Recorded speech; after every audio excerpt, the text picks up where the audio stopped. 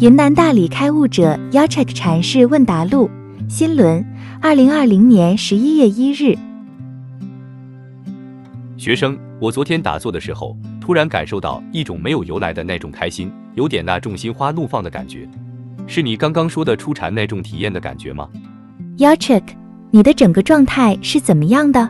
学生，现在打坐过一会儿就会有吸的节奏，然后过一会就进入那种止了。进入那种状态之后，呼吸就变得特别弱。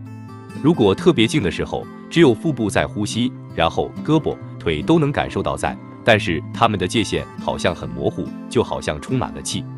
Yachek，你现在是在欲界定和初禅之间。学生，然后还会酥麻酥麻的，像放电一样。Yachek。你现在是在色音里面，在色音里面就是非常宁静的，就等于说你进到身体的元素里面。我们说身体有四种元素，也有说是五种元素：土、水、火、风、空。你融入到空元素里，然后你就感觉整个状态非常的空灵，气息微弱。但是你这个色音还没有完全破掉。如果你把这个色音破掉，你就进入初禅。学生这两天打坐的时候。这手就随便这么搁住，坐一会就感觉没有手指头的界限了，感觉模糊成一大团了。然后要搁别的地方，也是一会就模糊了。但是特别希望他能把腿给模糊掉，就觉得手然后完全没有界限的感觉是一大团，但是腿还始终在。不知道这种是不是正常？就是你正常呼吸到一定程度，它就这样是吗？Yachek，对。慢慢的，其实我们就从肉身时再进入到一个色音的状态，或者说我们进到四维能量形态。但是你这个腿还没有完全进入，还没有空掉。如果你整个身体空掉的话，就进入这个能量层面。学生，空掉是你完全感觉不到它的存在，是吧？Yachek，空掉就是说，比如说你刚做的时候，你感觉你是有个身体在这里，在这里打坐。但是你空掉以后，虽然你在打坐，但是你感觉不到有个身体实在，你身体的边界和周围是没有界限的，就跟周围的场完全融入了，感觉你的身体完全消失了。这时候你是一个能量的形态。假如你还感觉有个腿在这里，还有身子在这里，就没有消失。你达到一个很深的静止，感觉我坐住的时候没有身体，身体跟我一点关系没有，这就表示你空掉了。Yachek，我们不启动能量的时候，坐得很静的时候，我们也会感觉到身体消失，但是这种情况下，它是属于阴的状态。比如说深夜时候我们打坐的话，你感觉到身体很容易消失，因为和晚上的阴磁场较易融合。但它属于阴，它不属于阳。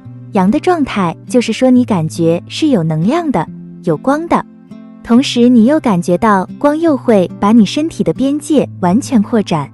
没有一个身体，没有边界感，只有光，它属于阳的状态。最终我们需要一个阳的状态来调和这个阴的状态，让阴阳都能够融合起来，才会进入一个微妙的禅定。如果你只是有个阴的状态是不够的，缺少一部分不完整。学生，你说出禅呼吸全部停止，就只剩胎息吗？Yachek，基本上有点止息的感觉，连内呼吸也停了，你感觉没有呼吸了，不需要呼吸这种感觉，但腹部还有些吸动。那呼吸是在调动我们的能量循环，吸收足了以后就会停下来，停下以后我们就要接近定的状态。学生，刚才最后十分钟的时候，就那呼吸停了，然后挺累的，就靠在这休息，就感觉腹部好像会有个开关，就开始呼吸，但很微弱。Yachek，如果你身体能量足以后，它就上面止息，下面胎息，最后胎息也会若有如无。学生。到最后是下面都会不动了吗？那怎么可能呢？Yachek，你没有体验过，你是很难相信的。你体验过心脏脉搏停止跳动的感觉吗？你觉得我心脏不跳动肯定死了，其实不然。你心脏不跳动了，你一时还在，但是你的一时知觉完全超越这个身体。我们达到三摩地以后。身体的机能活动几乎全部停止，就像个死人一样。但是这个死人他是活生生的死人，什么叫活生生的死人？外在好像是死了，但是内在是生机勃发的，就像你的大脑一时进入冬眠一样。比如说你进入纸的状态，你就有点像进入到冬眠，就快睡住了。但突然有一刻，你就感觉到那种生机开始勃发，不断的生长涌动出来，虚空中能量开始生长，阴极而阳生。这就是活生生的死亡，就要达到这种境界，在活着的时候死去。开悟的大师经常这样说，但他说死去不是说你的生命死去，是让你的头脑还有你身体机能这种状态进入一个完全的类似于死亡的那种境界。这时候内在那个永生的东西才会出来，因为是你自己把永生的东西障碍住，你消失了，它就出来了；你不消失，它就出不来。学生，您帮我做完能量疗愈之后，然后我就觉得心轮它开始有点小小的转，但是之前转的时候，我心口这块还没什么感觉，现在转的时候，反而觉得我心口那块有一个地方好像特堵，好像特别需要有什么力量把它撑开，而且有的时候还会刺痛。Yachik，这是好事情，这说明你原来一直堵，但是你不知道，但是我现在把你这个心轮启动了。它就要开始吸能量，它吸能量的作用就是要清理那些堵塞的地方。学生，然后我练功的时候，我就突然想大吼一声，但是我就忍住了，就好像那个地方特别堵。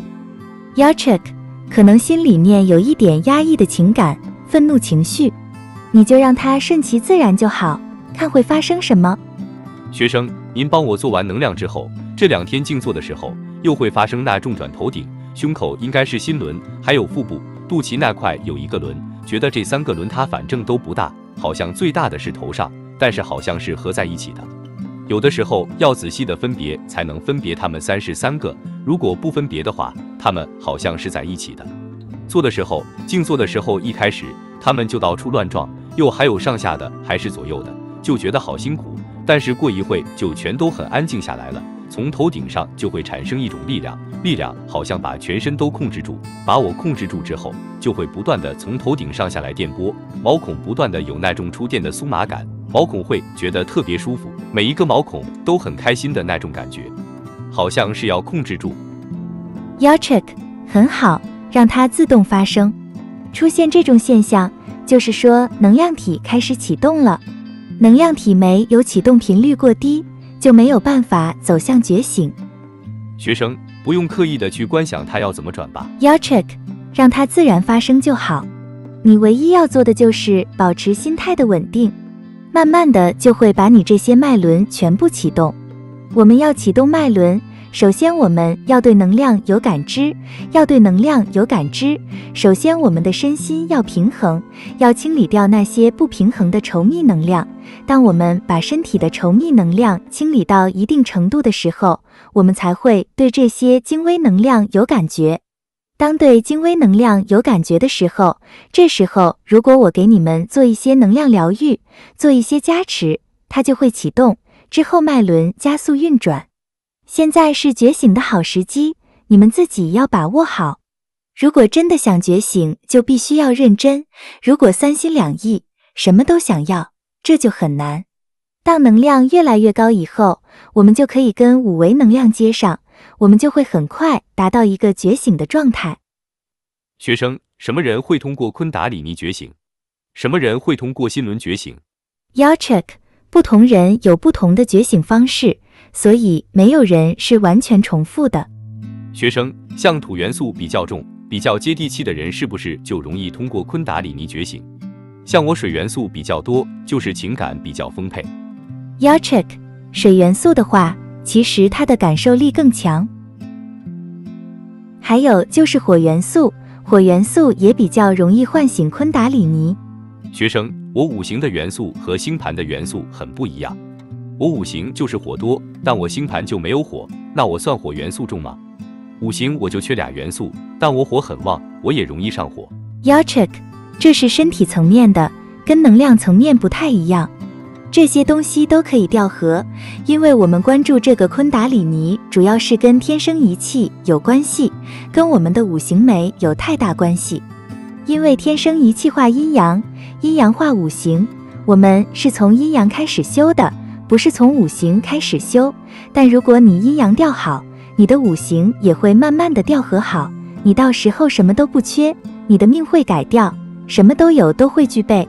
通过阴阳结合，然后达到天生一气，达到一的状态，就超越了二元性。这就是修行的程序。从二元阴阳开始，五行我们不用管。学生今天感觉到很明亮，非常明亮。有时候很暗的时候，学会掉节奏了，在暗的时候就等，慢慢的等，等到一会就会很明亮。y a c h e k 我关心的是你的心有没有发亮。学生到处都发亮了，还看到特别蓝的颜色被一层黑颜色包裹住，等很久那个包裹就没有了。还有一个感觉到的是左边就暗，右边就很明亮。后来腿疼就感觉在抖，就把它放平了。放平以后就把这个腿放松，然后这个抖就传到上面来了，你就一直传到头顶上。先是在晃动，后来嗓子在晃动，最后这个头就一直在晃动，感觉好像有点跟外面连起来的感觉。最后还有一个感觉，现在左边亮或者右边不亮。后来有一会儿感觉中间有一个很亮的，中间有一个比较细细的。连到很远，比较明亮，我都不想出来了。还有一种清理的感觉，那个亮光上去了，结果慢慢往下走，往下走的时候，我就会感到一会儿这边好像又黑，又等一会儿，它自动就会把它清理干净。过一会又往哪边走，我也不知道，就觉得又黑了，它会反正不是转就是抖，或者什么又把它清理掉，还非常感动。在想是不是老师你在上面引导我？我在想他怎么会自己在找各个方向突破。然后我的膀子就自己会转动，好像让它在疏散。我刚刚看云好像立梯了，好像要走到眼睛里面来一样的。我一下子把你们都忘记了。Yachek，我们一定要知道这个能量很重要，越高频能量它就越有一种智能，它会主动帮你清理。你要做的工作就是配合它，尽量的空出来，空的越多越好。甚至有一些你感觉好像有什么目的在帮你做工作。其实这个就是高我的能量在帮助你做工作。学生下午有个体验，就是新轮做完疗愈之后，新轮感觉都比较强，新轮感觉到了我上次做疗愈的那种通透，还有轻盈，让我感受到了之后就哭了，然后就有点理解为什么他们疗愈之后哭了，就觉得其实这几天其实还是会有不开心的情绪，然后觉得心就一直很平静，那种我在的感觉就会一直陪住我。记得第一次来的时候，我说感受不到爱，然后你说找到心就能找到爱，觉得我以前感受到的心都是一种假心，被情绪体包裹住的心。Yachek，现在你对你的真心有点感受了吗？学生就觉得以前我的心很容易受伤害，然后很脆弱，现在觉得我的心可以当我的铠甲，就那样的感觉。Yachek，很好，进步也很大。先要找到你的心，其他东西都好办。没有找到你的心的话，你就不知道怎么去修行。学生，那魔怎么知道自己有没有找到心？Yachek，就像他一样，会哭，会感动，会觉得突然明白了过去那个心不是真心，会有一种很强烈的对比，就感觉过去的心根本就不是自己的心，要有这种心理上的对比。只要你还在怀疑的话，那说明还不是。你会有一种非常明确的感受，原来那个非常明亮的、非常柔软的、非常有力量的，这个才是我的心。那种活在情绪当中的根本不是我的心，只是一种情绪，暂时的一种情绪。心它是一种很恒定的状态，它不是一种起伏的状态。就像海洋，它的表面是有起伏、有风浪，但是在海洋底下，它永远都是非常恒定的、非常平静的、非常深邃、非常有力量的光明，而且它是无限的，它不是一个小小的心窝，它是无限扩展的。当我们不断去发展新的力量，你会发现它越来越空旷，越来越往外扩展，越来越像晴空。你感觉你是像一个光源一样，不断在照耀你的世界，感觉跟所有的心都可以连接在一起，这就是真心。学生之前就是来学的时候，老师教过我们关心性，然后我那时候就觉得关心性好像特别吃力，要费很大的力气。然后这次你帮我做完能量疗愈之后，有一天我就在打坐的时候。也没有关心性。那个时候好像身体有点变得很轻，然后有一瞬间突然觉得心口那里好像出现了一个特别大的一个大平台，很大，好像那种很宽广、一眼望不到尽头的一种平台。然后就突然有一种感觉，原来有一个就是老师说的虚心师傅，原来那个心它是虚的，就说那块是虚空的，很虚的。但是我打完坐就又变实在了，就又没有那重虚的感觉了，就出现过一次。Yachik，这也是一种体验，是一种境界。我们进入禅定的话，也可以体验到这重心的本来那重空性。其实我们心本来就是一重空性，不是实体的。就因为它是空性，所以它才能够无限，才能无形。所以佛陀问阿难心在哪里，阿难给了他七个答案，他都否定掉。心是没有位置的，没有上下左右东南西北，因为它是超越物质的，在无形的世界里。它怎么可能会有个中心呢？它没有中心的，所以把这些新鲜否定掉，就等于把我们对心的觉知那种感受全部都否定掉。我们在打坐里面体验心，还不是真心，但是它是一个境界。那个境界就好像说月亮，它投影在水里面，你看到的是一个投影，月亮的投影跟天上投影它是一样的，唯一不同就是它是会波动。会消失的，比如说水面起了波纹，起了波浪，月亮就不成形了。但是真的月亮永远都是不变的。所以，当你找到真心，你发现不管你是打坐也好，不打坐也好，它永远都是这样，它永远都是如如不动的，永远都是发光的、发暖的。